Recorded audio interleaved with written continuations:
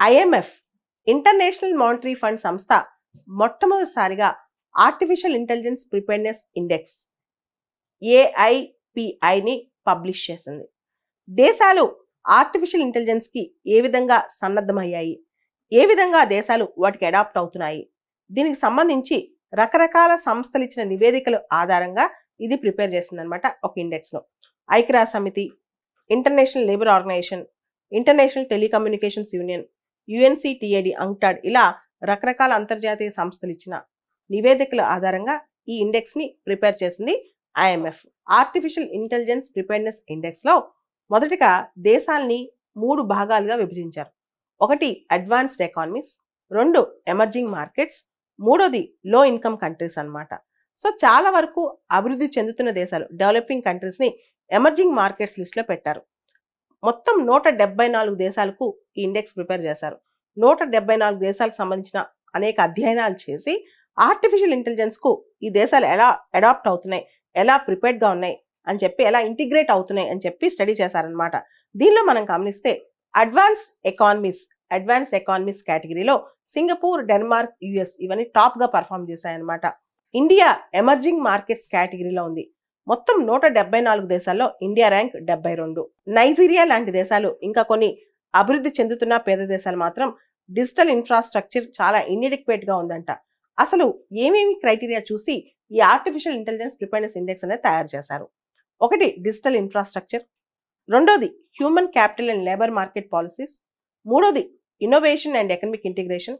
నాలుగోది AI regulation. అంటే మన డిజిటల్ ఇన్ఫ్రాస్ట్రక్చర్ ఏఐకి అడాప్టబుల్గా ఉందా? రెండోది మన హ్యూమన్ క్యాపిటల్ కానీ లేబర్ మార్కెట్ కానీ ఏఐ స్కిల్స్ ఉన్నాయా? మూడోది artificial ఇంటెలిజెన్స్లో innovation economic integration artificial intelligence జరుగుతుందా? నాలుగోది ఏఐ రెగ్యులేషన్స్ ఎలా ఉన్నాయి? ఇవన్నీ ఆధారంగా తీసుకుని వీటన్నిటిని పరిగణలోకి తీసుకుంటూ దేశాల యొక్క ఏఐ ప్రిపేర్నెస్ ఇండెక్స్ తయారైందనమాట లేబర్ మార్కెట్ విషయానికి వస్తే ఆర్టిఫిషియల్ ఇంటెలిజెన్స్ వల్ల అభివృద్ధి చెందిన దేశాలు అంటే అడ్వాన్స్డ్ ఎకానమీస్లో ముప్పై మూడు శాతం జాబ్స్ ఎండేంజర్డ్గా ఉన్నాయంట. ఎమర్జింగ్ మార్కెట్స్లో ఇరవై నాలుగు శాతం జాబ్స్లో ఇన్కమ్ కంట్రీస్లో పద్దెనిమిది శాతం జాబ్స్ మొత్తంగా చూసుకుంటే ఆన్ అండ్ యావరేజ్ ప్రపంచవ్యాప్తంగా ఆర్టిఫిషియల్ ఇంటెలిజెన్స్ వల్ల నలభై శాతం జాబ్స్ పోయే అవకాశం ఉందంట తొందరలో. ఐఎంఎఫ్ రిలీజ్ చేసిన ఈ ఆర్టిఫిషియల్ ఇంటెలిజెన్స్ ప్రిపేర్నెస్ ఇండెక్స్ ప్రకారం ప్రపంచంలో అసమానతలు ఇంకా పెరుగుతాయంట. దీనికి సంబంధించి చాలా స్టడీస్ ఈ మధ్య జరిగాయి. రెండు వేల ఇరవై మూడులో global partnership on artificial intelligence అనే సదస్సు న్యూఢిల్లీలో జరిగింది.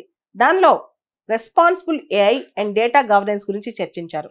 అదేవిధంగా OECD organisation for economic cooperation and development వాళ్ళు లేబర్ ఫోర్స్లో లేబర్ మార్కెట్లో ఏఐ స్కిల్స్ చాలా ఇంపార్టెంట్. లేకపోతే లేబర్ మార్కెట్ మొత్తం దెబ్బతింటుంది. వర్క్ ఫోర్స్ మొత్తం ఇబ్బంది పడుద్దని చెప్పారు. అదేవిధంగా ఇందాక చెప్పుకున్నట్టు నలభై శాతం జాబ్స్ థ్రెటన్ అవుతున్నాయి ఏఐ వల్ల. అంటే మనకి ఇప్పుడు కావాల్సింది డిజిటల్లీ కాంపిటెంట్ లేబర్ ఫోర్స్. ఎవరైతే ఏఐకి అడాప్ట్ అవుతారో డిజిటల్లీ కాంపిటెంట్ ఉంటారో వాళ్ళకే ఉద్యోగాలు ఉంటాయి మిగతా వాళ్ళకి ఉద్యోగాలు పోతాయన్నమాట. ఆర్టిఫిషియల్ ఇంటెలిజెన్స్ వల్ల ఉద్యోగాల్లో పెద్ద ముప్పై రాబోతుందంట.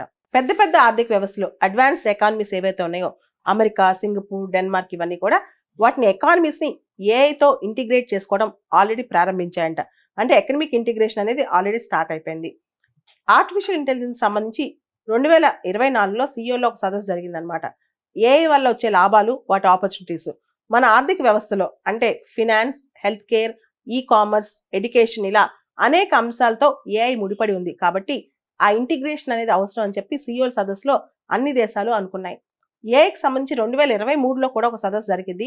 యూకే దాన్ని హోస్ట్ చేస్తుంది అదే బ్లెచ్లే పార్క్ సదస్సు అనమాట అది ఏఐ సేఫ్టీ గురించి ఏఐ భద్రత గురించి. అదేవిధంగా అనేక మంది నిపుణులు చెప్తున్నట్టు ఏఐ వల్ల జాబ్స్ పోవటాలు ఆర్థిక అసమానతలు ఎక్కువ అవటాలు అదేవిధంగా జాబ్స్ పోలరైజ్ అయిపోవటాలు అన్నీ జరుగుతాయి. కానీ ఆర్టిఫిషియల్ ఇంటెలిజెన్స్ వల్ల అవకాశాలు పెంచుకోవాలి మనం. జాబ్ ట్రాన్స్ఫర్మేషన్ జరగాలి. ఎకనమిక్ గ్రోత్కి ఏఐని వాడుకోవాలి. ఇన్నోవేషన్స్కి ఏఐని వాడుకోవాలి. సో ఏఐ వల్ల ఇబ్బందుల గురించి ఆలోచించే కన్నా ఏఐ రాగానే ఆర్టిఫిషియల్ ఇంటెలిజెన్స్ మన జీవితాల్లోకి రాగానే మంచి ట్రాన్స్ఫర్మేషన్ కోసం మనం కృషి చేయాలన్నమాట. అప్పుడే మనం ఇంకా బాగుపడతాం. అప్పుడే మనం ఇంకా అభివృద్ధి చెందుతాం. ఏఐ అప్స్కిల్లింగ్ అంటే ఇప్పుడున్న లేబర్ మార్కెట్లో upskilling reskilling and creating supportive work governance అనేది చాలా ఇంపార్టెంట్ అని చెప్పి ఈ నిపుణులు అభిప్రాయపడుతున్నారు. ఓవరాల్గా ఆర్టిఫిషియల్ ఇంటెలిజెన్స్ బేస్డ్ ఇన్నోవేషన్స్ రావాలి. ఇదే దిశగా సిఇఓలో రీసెంట్గా జరిగిన సమ్మిట్లో ఏఐ సేఫ్టీ రీసెర్చ్ సెంటర్ కూడా అక్కడ స్టార్ట్ చేయబోతున్నారంట. South Korea సియోలో AI safety research centre start చేస్తున్నారు. ఓవరాల్గా మన జీవితంలో మనం అనుకున్న దానికంటే ఫాస్ట్గా ఏఐ శరవేగంగా ఏఐ ఎంటర్ అవుతోంది.